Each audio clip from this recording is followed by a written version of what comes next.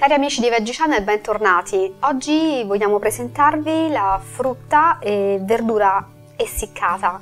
E in realtà questa non è una vera e propria ricetta, ma è un consiglio che vogliamo dare ai nostri utenti, quindi ascoltatori dei nostri video, eh, su alcune modalità per utilizzare, quindi mangiare quindi frutta e verdura non soltanto fresca. Utilizziamo sempre un essiccatore ovviamente, abbiamo messo su varie teglie zucchine, arance, kiwi, cipolla. Vedete anche che l'abbiamo già essiccata eh, perché i tempi di essiccazione sono molto lunghi. Considerate che per essiccare una zucchina ci vogliono non meno di 18 ore a circa 45 gradi. Ogni verdura e ogni frutta ha dei tempi di essiccazione ovviamente a sé, però lo spessore è molto importante perché lo spessore quindi di, sia della frutta che della verdura non deve essere superiore a un centimetro, questo perché più è spessa più i tempi di essiccazione sono molto lunghi, quindi calcolate che la temperatura media generalmente di essiccazione è al di sopra eh, poco dei 40 gradi, quindi non supera i 50 e quindi ci impiegherebbe molto tempo. Questo uso diverso della frutta e della verdura